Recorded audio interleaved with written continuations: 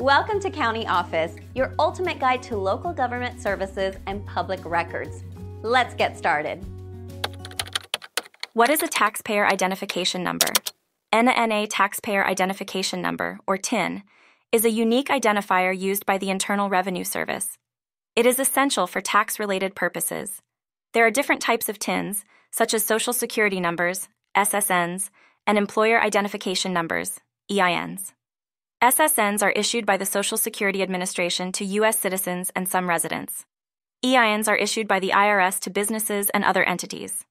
Another type is the Individual Taxpayer Identification Number, ITIN. ITINs are for individuals who need a TIN but are not eligible for an SSN. TINs are crucial for filing tax returns and claiming tax benefits. They help the IRS track tax obligations and payments. Without a TIN, one cannot file a tax return or claim certain benefits.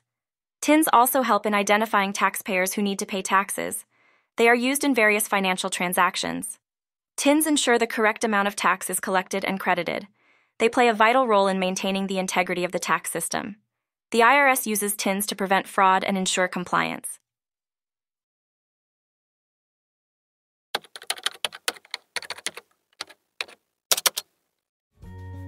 To learn more, check out these links, which you can click in the description below.